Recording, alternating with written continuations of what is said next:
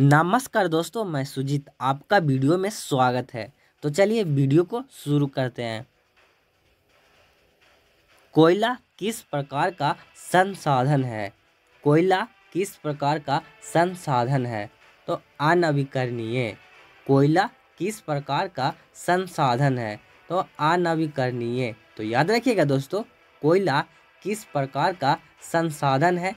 अनवीकरणीय। तट रेखा कितने किलोमीटर क्षेत्र सीमा अपवर्जक आर्थिक क्षेत्र कहलाते हैं?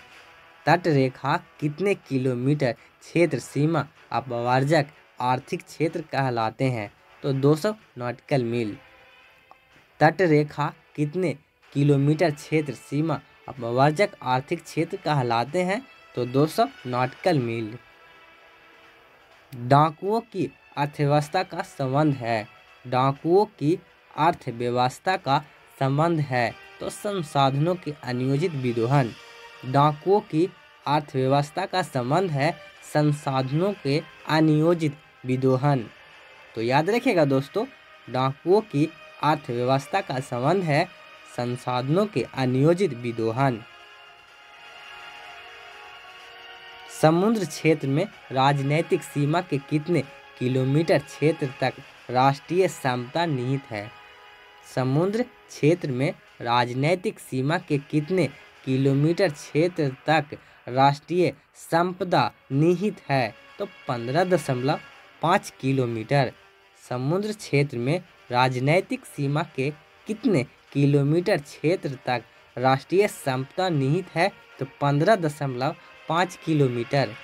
तो याद रखिएगा दोस्तों, समुद्र क्षेत्र में राजनीतिक सीमा के कितने किलोमीटर क्षेत्र तक राष्ट्रीय संपदा निहित है?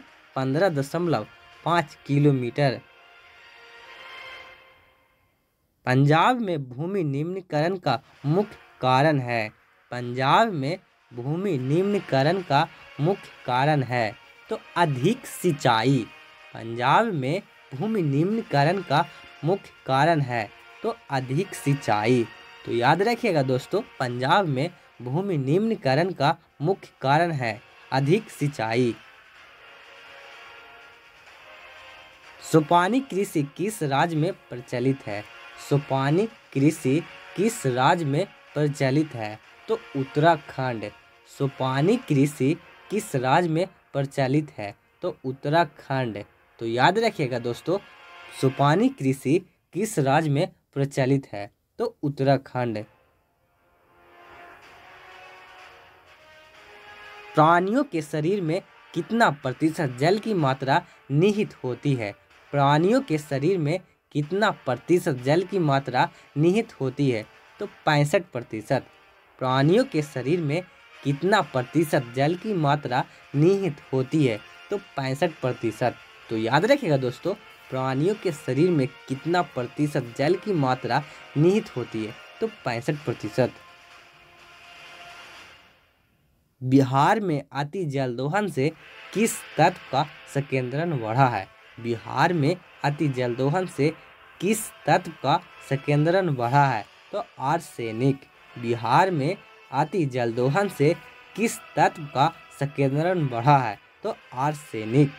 तो याद रखिएगा दोस्तों, बिहार में अति जल दोहन से किस तत्व का संकेंद्रण बढ़ा है? तो आर्सेनिक।